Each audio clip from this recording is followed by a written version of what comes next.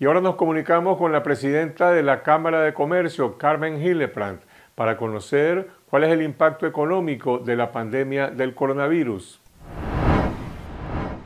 Carmen, en el recorrido que hicimos en Managua se aprecia que hay un mayor nivel de actividad en el comercio, por lo menos en comparación con antes de la Semana Santa.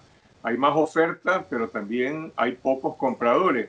¿Cuál es la situación de la autocuarentena que han promovido las empresas en este momento?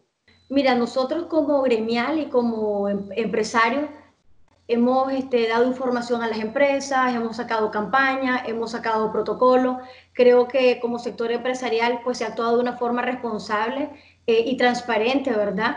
Eh, sí es cierto, se ve un poco, eh, en las calles se ve un poco más de gente, sin embargo, como no hay mucha información de, cómo está, nosotros hacemos nuestros propios termómetros y podemos ver, por ejemplo, en, en el Google, en la movilidad de la gente, uno puede ver de que en los centros comerciales y en los súper ha caído la movilidad de la gente en casi un 56%. En algunos lugares, como lo que son hoteles y restaurantes, en algunos casi un 70 y 90%. Pero ¿qué ha pasado? Que ahora para sobrevivir estos lugares están haciendo delivery. Pero han hecho ustedes algún balance con sus socios, con las empresas, de cuál ha sido la tendencia de las ventas en el mes de marzo que terminó y en este mes de abril que está terminando? Hay sectores que han bajado más que el 2018.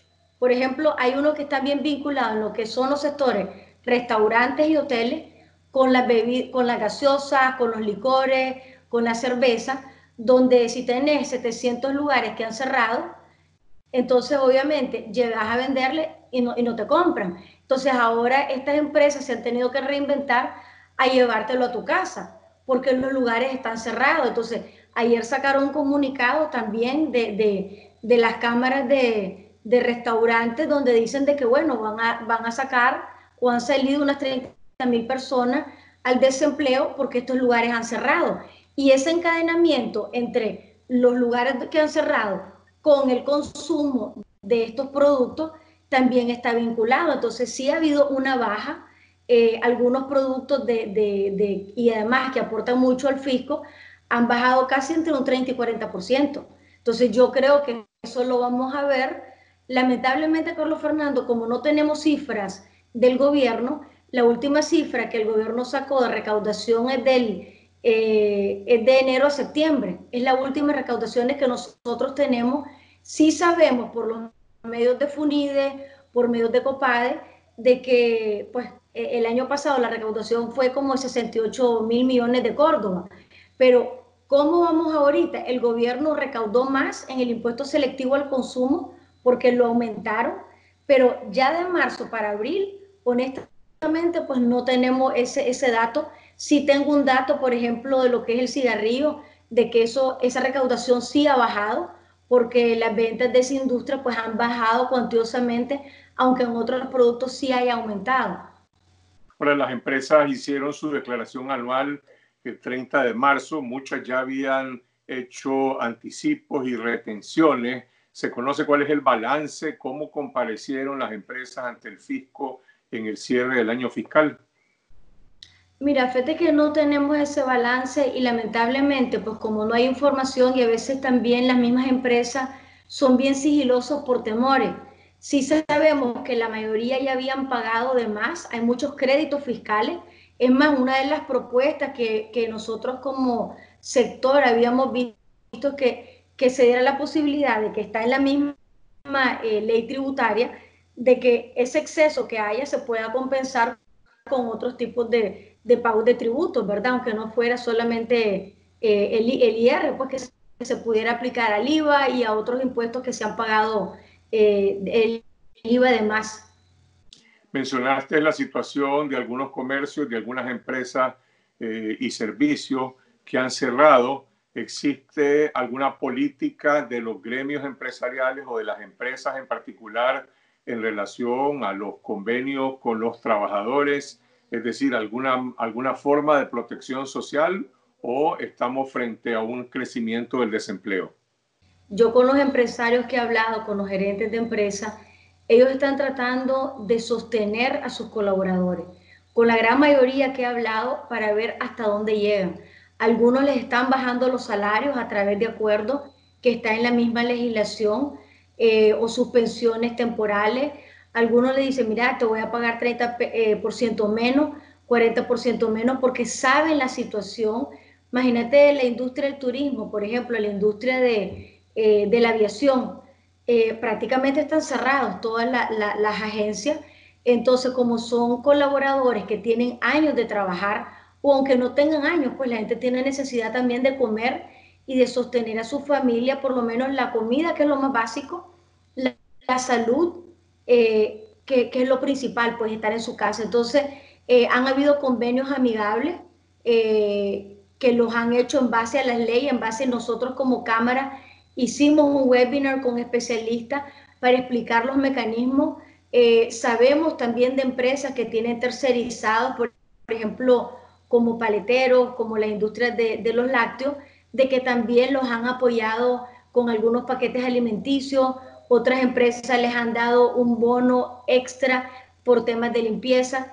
Pero, por ejemplo, en la Cámara, yo te lo comento, en la Cámara no hemos despedido a nadie. Eh, igual muchos están en sus casas, algunos estamos trabajando con la tercera parte, otros están trabajando desde casa.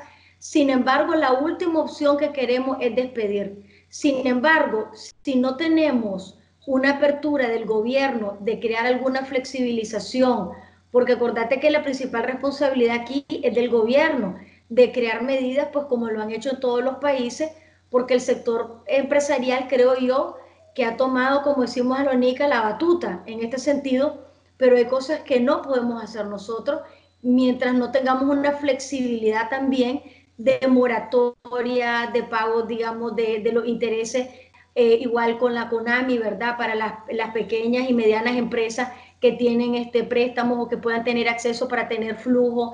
Eh, y la ley de concertación tributaria, que es una ley bien nociva. Eh, somos, digamos, tenemos la carga tributaria más alta de, de, la región y más pues los temas de energía. Entonces, si no hay una apertura del gobierno, pues yo creo que sí, todavía va a aumentar exponencialmente más el desempleo. Vamos al tema de la energía. La Cámara de Comercio, junto con otro gremio, suscribieron ayer un planteamiento al gobierno y al INE para que decrete una reducción de la tarifa de energía entre un 15 y el 20%, pero el propio INE eh, prácticamente no ha hecho ningún cambio. ¿Cómo está afectando este, esta crisis en que por una parte están bajando a nivel internacional los precios de los combustibles y aquí en Nicaragua el gobierno persiste en mantener intocable la tarifa de energía? Mira, fíjate que vimos esa necesidad, Carlos Fernando, primero porque todo lo que es mi pyme ha sido fuertemente afectado desde el 2018 hasta el momento. Se hizo un estudio eh, meses anteriores con FONIDE sobre el sector, digamos, de los panificadores, sobre el sector, digamos, de las pequeñas empresas turísticas. Y lo que más les afecta a ellos es la energía eléctrica lo que más afecta. Digamos ahorita, por ejemplo, hay sectores que vos decís, bueno, están cerrados, ahora están en sus casas. Sin embargo, el comercio, por decir algo, es el, sector que fue castigado con el 35% más de, la carga de la tarifa energética, por, por decirlo así. Somos el sector castigado, que pagamos el 35% más de cualquier sector. Entonces consideramos que es un momento, y más que están cayendo el petróleo, el barril, que si sube un poquito, que si baja más, pero en toda la región somos el país donde la energía eléctrica es la más cara y dentro de los costos de producción, digamos, las empresas productivas, eh, es lo más caro, o sea, casi en, en un 30%. Pero además de esta demanda específica sobre la tarifa de energía, el sector privado, la Cámara de Comercio, los otros gremios han presentado al gobierno un listado de los cuatro, cinco, diez puntos fundamentales de lo que debería ser una política estatal de protección social para los ciudadanos, para los trabajadores y para las empresas en medio de esta crisis?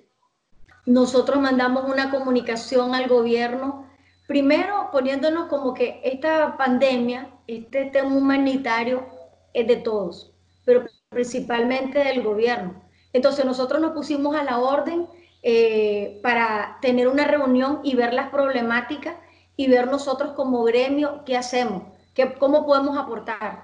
Sin embargo, hasta la fecha no hemos tenido respuesta, porque yo te digo una cosa, uno puede sacar casi un listado eh, de muchas medidas efectivas y nosotros las tenemos, que no la hemos hecho pública porque consideramos igual que nosotros le tenemos que mandar una comunicación al gobierno, que es el que tiene la responsabilidad de escucharnos y de tomar decisiones, porque mira, aquí no es en contra solo del sector empresarial, porque este encadenamiento del desempleo, del hambre y de medidas, por decirte algo, de que te cueste sacar productos de aduana, que tengas que sacar una solvencia fiscal eh, cada mes, solo Nicaragua la tiene. ¿Cómo es la proyección el resto del año? El Fondo Monetario estima que habrá un decrecimiento de menos 6%, incluso peor que 2018. Mire, esa es la proyección que nosotros manejábamos. Sin embargo, con toda la coyuntura que ha pasado este, ahorita, eh, yo creo que eso va a ser eh, más negativo, por decirlo así, porque la verdad es de que con la industria, el colapso de la industria del turismo, por la caída también del de las exportaciones, que también iban, iban con buen suceso las exportaciones, y también con el tema de las remesas. Eh, hacía un estudio eh, Manuel Orozco de que iban a caer entre un 10 y un 12%. Sin embargo, con el desempleo de más de 22 millones en los Estados Unidos, pues yo creo que ahí nos quedamos cortos. Entonces, ese panorama es grave porque la crisis, la crisis eh, mundial, y más la crisis ahora nuestra con la pandemia y con los cierres eh, pues, de las empresas por, por el cuidado personal, porque al final el cuidado aquí va a ser personal, ¿verdad? Aquí el héroe, como dice la campaña, eh, es uno mismo. Entonces, eh, el panorama no es nada alentador y más de que, bueno, ¿de dónde se van a sacar los recursos? Si no tenemos recursos de los bancos multilaterales, si no hay préstamos, pues la verdad es de que no es nada alentador. Eh, sin embargo, bueno, aquí estamos nosotros porque tenemos que buscar cómo resolver, pero el que tiene que reaccionar, pues consideramos nosotros como sectores el gobierno, para que aquí sea menos fatal, como decimos. Eso es lo que dice Carmen Hilleplant, presidenta de la Cámara de Comercio.